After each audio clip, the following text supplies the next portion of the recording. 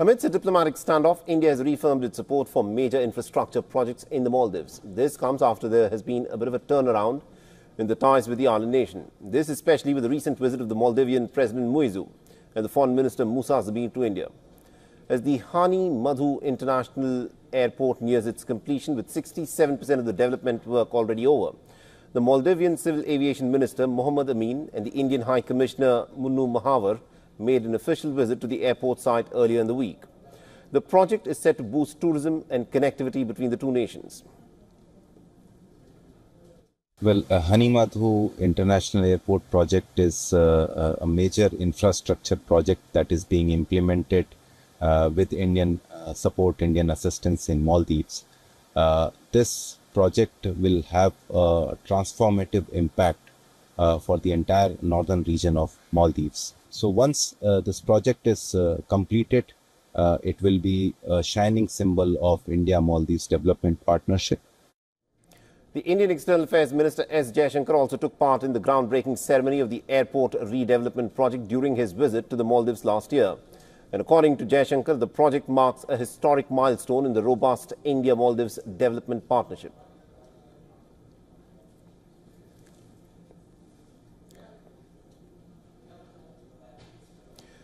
Now remember, India has been involved in 47 high-impact community development projects in the Maldives. The biggest project that Delhi is supporting is the Greater Malé Connectivity Project, which links Malé to three other islands through a series of bridges, causeways and roads.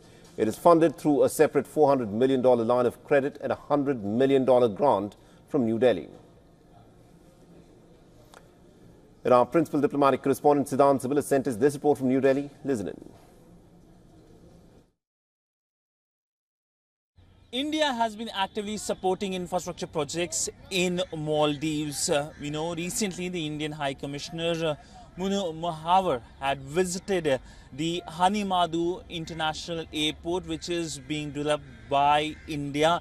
The ground link happened last year in January, and essentially the project is expected to spur economic development in northern Maldives. And there are other projects as well India has been supporting, including the Greater Malé Connectivity Project, which is one of the biggest infrastructure projects that India is supporting in Maldives. But the message is clear from New Delhi when it comes to various uh, projects it has been supporting including of course uh, community development project that uh, whatever the political dispensation be in Malé in Maldives, India will continue to stand with the people of Maldives. Uh, we recently saw the visit of the Maldivian uh, President, President Muiz, uh, and the Indian High Commissioner also called on him over the weekend, where the focus remained on India-assisted projects in the country.